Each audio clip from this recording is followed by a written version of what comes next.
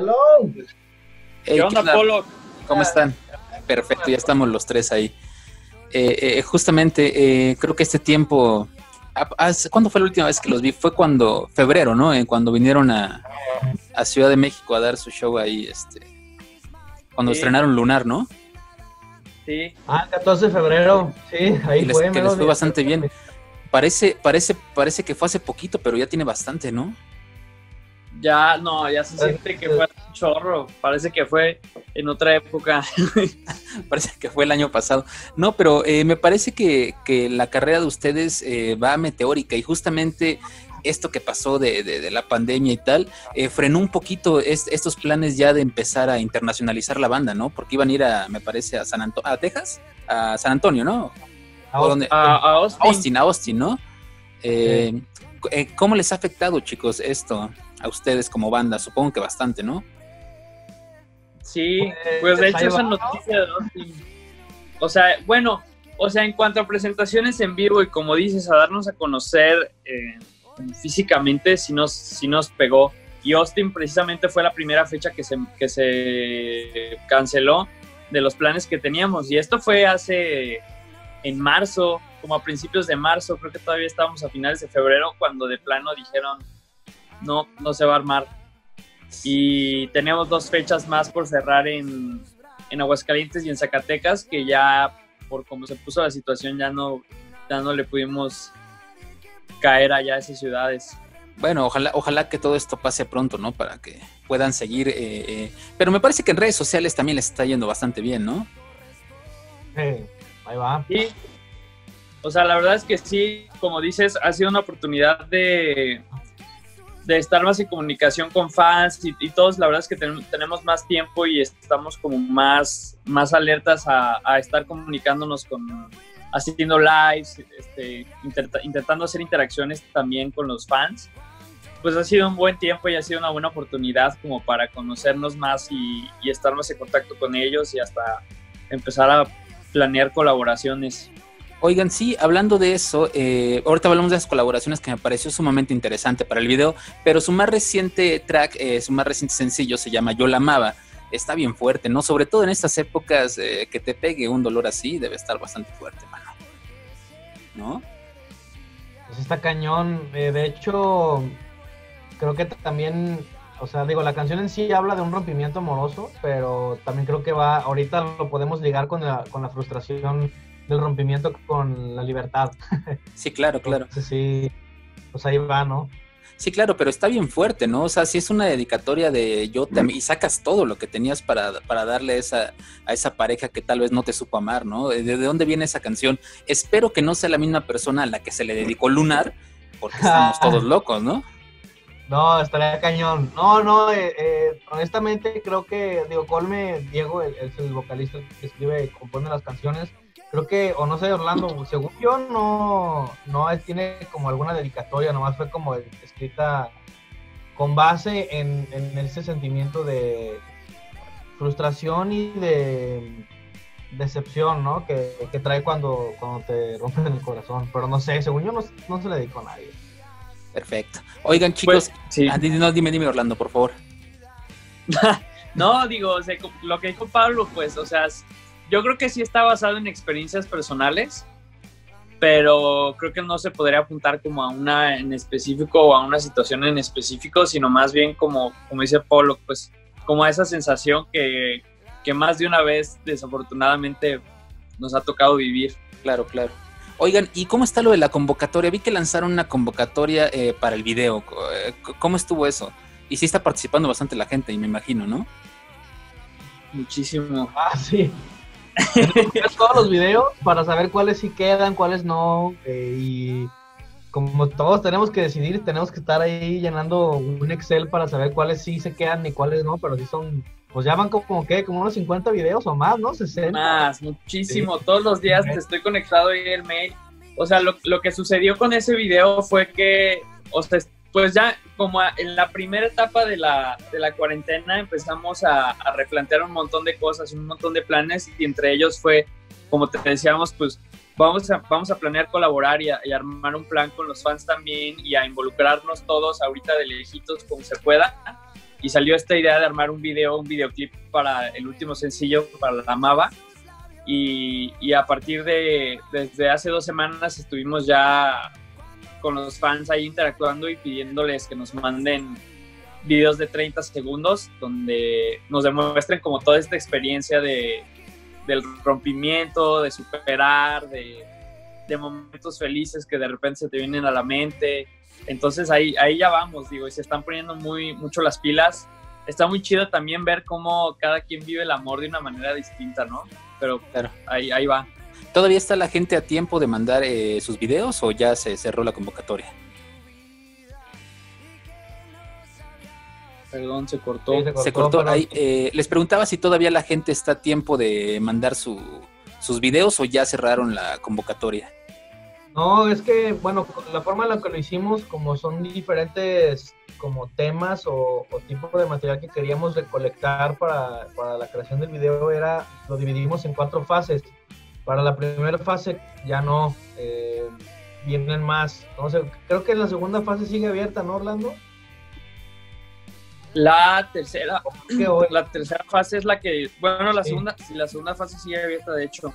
Lo que, ajá, como dice Polo, lo que estuvimos haciendo fue, son cuatro etapas y la estamos manejando como semanalmente, casi, bueno, como dos etapas por semana, casi, casi, los, los traemos a los fans en friega. Pero, por ejemplo, la primera etapa fue recuerdos felices, ¿no? La segunda etapa, que creo que ahorita sigue activa, es... Eh, cuando, ¿qué es lo que haces? Como cuando te rompen el corazón y, quieres o estás en ese proceso de superar. Ok.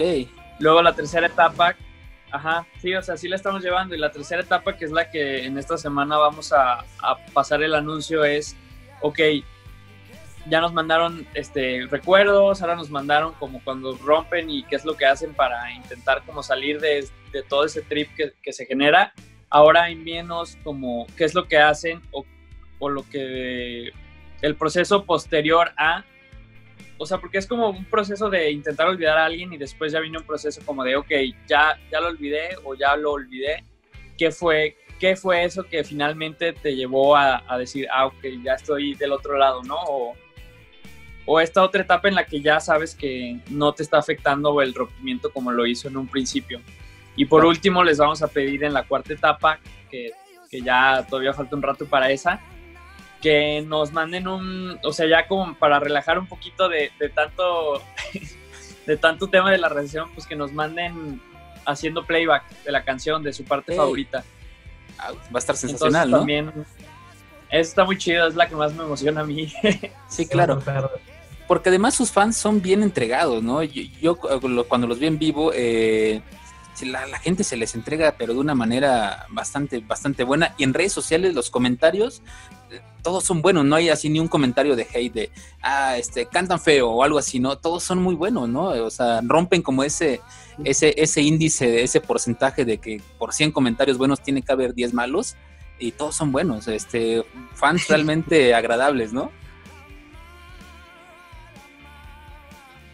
Sí, son una chulada. Pues es que, como dices, eh, se nos entregan y eso es literal, creo que el principal motor de, esto. Entonces, como dices, son personas que creo que se sienten muy identificadas, al menos con, si no bien con nosotros personalmente, pero con la música y el proyecto, entonces pues como que ella se mancuerna y eso solamente hace que crezca más y vaya más rápido, ¿no? Claro. Pues yo la amaba e, es un tema para estas personas que eh, pierden una relación y, que, bueno, dedican y sacan todo eso, chicos. ¿Ustedes tienen una canción eh, que les sirva en esos momentos catárticos? Sin mencionar a José José, ¿no? Uf. Pues es que hay muchas. por ejemplo, yo creo que, pero dices en, o sea, en español. Eh, como en donde sea, ¿no? En el idioma que sea. no, sé, si has escuchado a Bonnie Bear, pero ese cuate tiene una rola así en deprimente. okay, Bonnie Bear sería un artista clave para esa situación. Ok, ¿y tú, Orlando, tienes alguna? O sea, para esas circunstancias así de despecho y de, echar la lagrimita. Exacto. Yo de My Chemical Romance, la de I Don't oh. Love You, yo creo que es la que tengo así, que se me viene así, ¡pum! Porque la, o sea, esa, la agarré así, ¿eh? O sea, ese sí me tocó tener que aplicarla a la situación. Hace un buen, yo estaba bien mocoso como en secundaria, entonces imagínate cómo pegaba la letra de esa rola en sí, claro. Sí, más cuando uno piensa que ya es el amor de su vida, ¿no? En secundaria, ¿no? Ajá, exacto. Exactamente. Oigan chicos, ¿y qué sigue para Costa de Ámbar? Porque como lo platicamos, han estado bien activos en redes, eh, los hemos visto en varios streamings en vivo. Eh, ¿qué, ¿qué, sigue para ese tiempo? Porque al parecer todavía vamos a estar guardados un ratito más. Pues viene, viene por ahí a lo mejor un concierto en vivo. Eh, no sé si, yo creo que, bueno, ya streaming, pero concierto con full band es lo que estamos planeando. Viene, ¿qué más? Pues viene el, disco que hemos estado trabajando. Eh, queremos, la meta era sacarla este año, creo que sigue siendo la, es la meta. Sí, sí, sí. Pero no puede no salir. Entonces ahí andamos también cambiando para que salga. Creo que más, creo que también, bueno, pues no sé si ya se dieron cuenta, pero la 3 de 4 es que va a haber un 4 de 4. Entonces, pues obviamente otro sencillo. Y no sé, Orlando, ¿tú qué más Sí, pues lo más próximo es, es como dices, Polo, que el, concierto que estamos armando y que pues así lo, así lo estamos como proyectando nosotros también, que va a ser una experiencia en vivo de la banda completa, que todavía está en producción, pero es lo más próximo y ya después eh, también la, o sea, ya una vez que quede este video colaborativo, pues también va a ser un material muy interesante y muy, muy divertido por compartir y como dijo Pollock, el, el, siguiente sencillo que estamos ya para, para este verano por sacar. Entonces es lo que nos emociona más ahorita en estas épocas. Perfecto, entonces podemos decir que disco de Costa de Ámbar sí vamos a tener este año, ¿no? Sí, tiene que pasar, sí, claro que sí. Perfecto, y pues ojalá que pase pronto todo esto, chicos, porque de verdad eh, el plan que ustedes tienen como banda va creciendo y seguramente llegarán ahí porque tienen la calidad, tienen los fans tienen todo lo que, lo que hace falta, pero desgraciadamente de ahorita hay una pandemia, ¿no? Es lo único. pero bueno, no, no, no van a ser el Cruz Azul de la, de la música mexicana. Entonces, seguramente van a llegar, chicos. Y bueno, eh, ¿qué le dirían a toda esa gente que pasa por una decepción amorosa? Eh, ¿Cuál sería el mejor consejo de los Costa de Ámbar para esas personas que además de la pandemia eh, enfrentan una decepción amorosa? Creo que pues lo que nosotros siempre repetimos y es como el moto de, Costa es sentir, extrañar y ser real, ¿no? O sea, ya sé que son unos sentimientos horribles cuando estás en esa situación, pero mientras más te aceptes y más aceptes cómo te estás sintiendo, mejor puedes levantarte, porque eh, mientras eh, estés posponiendo sentirte triste y tratando de, no sé, despistarte con otra cosa, más vas a estar ahí. Entonces, mientras más puedas ser real a tus sentimientos y conectar con ellos, más, más rápido y más perro te levantas. Entonces, pues creo que eso sería mi consejo. Perfecto, chicos. Pues muchísimas gracias, jóvenes, por la, por la entrevista. Qué gusto verlos y esperamos verlos pronto por acá ya que pase todo esto, porque son una banda que realmente nos gusta bastante. Cuídense mucho y un abrazo. Bye, bye. Muchas gracias a ustedes. Un abrazo, esperamos verlos pronto. Cuídense mucho, chicos. Bye.